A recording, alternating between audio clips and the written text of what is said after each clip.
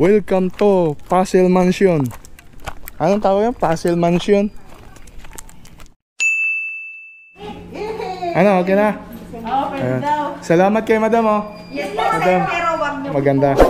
Yan, salamat kay madam. Anong pangalan mo madam? Irene po. Miss Irene. Salamat kay Miss Irene. Kusog kayo kapag ginawa. Yan, dito muna kami sa Puzzle Mansion. In Tagaytay. Pasyal muna tayo pa. Oh, hello kay madam. Shout out kay madam. Sundin na lang natin yung tour guide natin. Oh, make a wish. Oh, yan, may make a wish sila dito. Oh, make a wish. Wow, ito na yung loob ng Puzzle Mansion. Wow.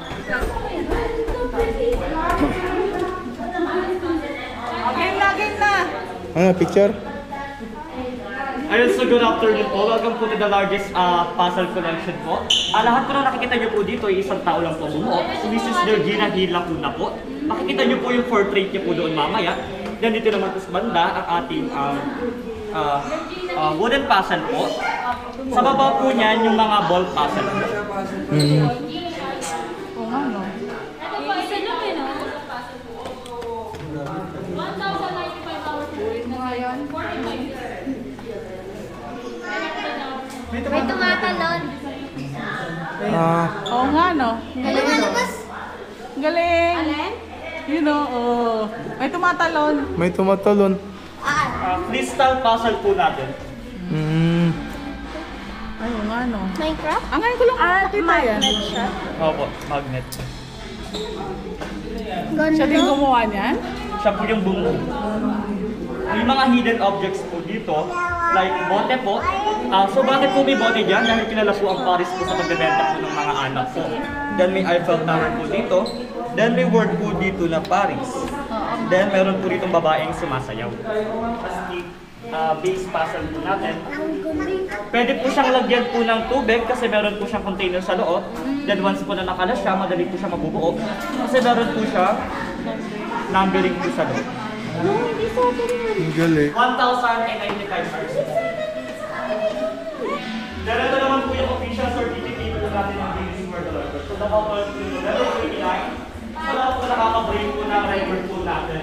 Ah, so bakit lang ito nakuha? Ano yan? Anong hindi mo nakikita dito? Grabe, dami Galing, na. no? Ito, 8,000. Mas 8,000. malaki yun. 8,000 pieces yun. eh. 8,000 pieces.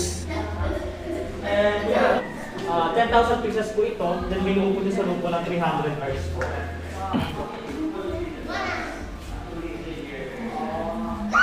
Muhammad Ali.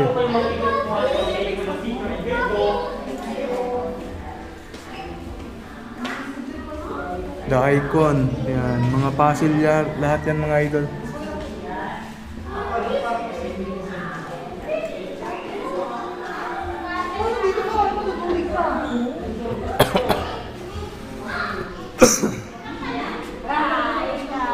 At nang nakikita nyo dito mga idol, mga puzzle lahat yan. Ay, oo nga, no? Ano? Yung mga dating ano. Oo. Kung kulang yung buhay mo dito mga idol, pumunta ka lang dito. Bubuuhin nila. Ilan lahat merong ano, puzzle na 1,028. For 1,028. 1,000 pieces? yan mga idol. Sabi ni tour guide, ang puzzle daw dito lahat 1,000 an 1,028.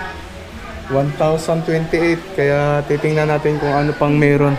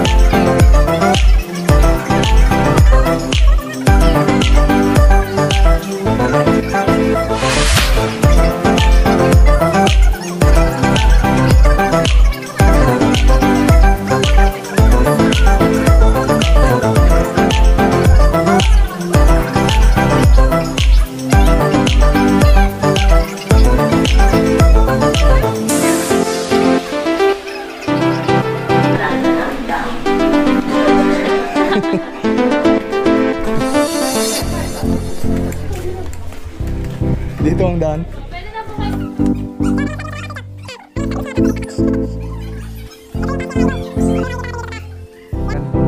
Facebook record.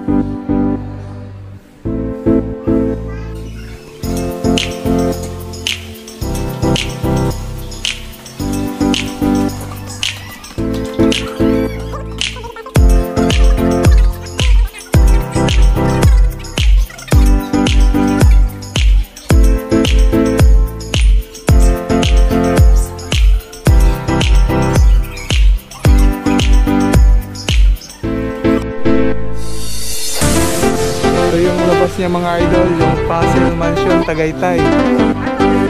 Ito yung labas niya. Innovation po. Ah, okay. Kasi gagawin pong ano yan, ah, private pool. Pag meron po Ah, oo. gathering, pwede po. Pwede, pwede sila mag-swimming. Arkilahin po yan, tsaka yung swimming pool, kasama na po. Ah, okay.